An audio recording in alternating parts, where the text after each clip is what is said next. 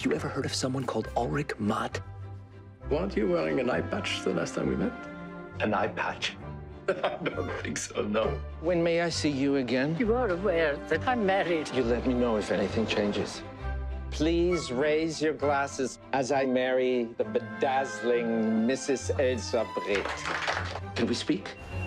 No, not on the telephone. That's not prudent. Who are you talking to? Shut your face!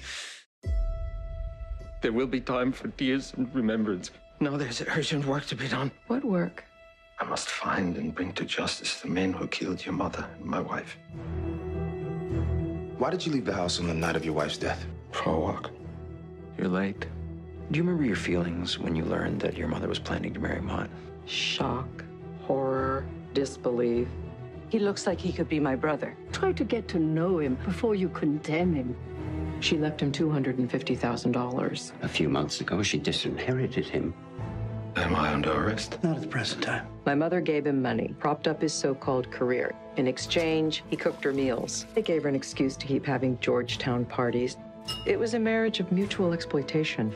You are the perfect butler. Is that all you want to be? You know it isn't. So what are you waiting for? Urgent from Ulrich Mott, Villa Zarathustra, Sadr City, Iraq. Authorized the embed of a German national with the Mahdi army. Nobody. Diplomacy is the art of telling people to go to hell in such a way that they ask for directions. The more I find out about this guy, the less I understand. Every word he says is a lie. You stink of alcohol. you reek of the grave.